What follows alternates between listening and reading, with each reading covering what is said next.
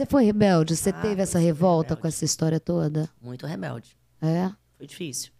Porque eu não conseguia entender muito assim as coisas. A gente, quando é adolescente, você quer engolir o mundo, você se, se envolve com péssimas amizades e aí você vai embora naquele fluxo, né, experimentando as drogas todas e você quer viver uma vida de rock and roll. Quantos anos você tinha? Ah, eu, eu brinquei de boneca até 19. Eu fui muito infantilizada até meus 19. Então, virgem até 19 e brincava de Barbie até os 19. E essa galera do mal que vai ainda. Tava toda ali. E eu também no meio, né, experimentando ali, fumando maconha, muito nova, com 18, 19 anos, né, mas ainda virgem, muito inocente, sem saber. A gente naquela época não tinha informação de nada.